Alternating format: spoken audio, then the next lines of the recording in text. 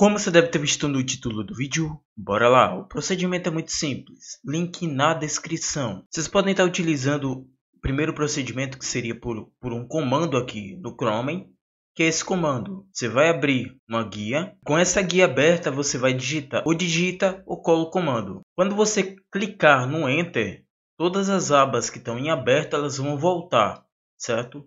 Todas elas que estão no Chrome em aberto. Olha só, e todas as abas que estavam abertas anteriormente, elas abriram sem problema algum, certo? Uma outra possibilidade é, tá vendo as abas aqui em aberto, em cima?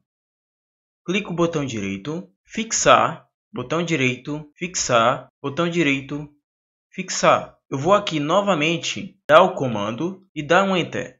E as duas abas que estavam abertas elas voltam. É um procedimento muito simples. Espero que você tenha gostado. Qualquer dúvida, deixe aqui no campo de comentário. Eu quero saber a sua opinião.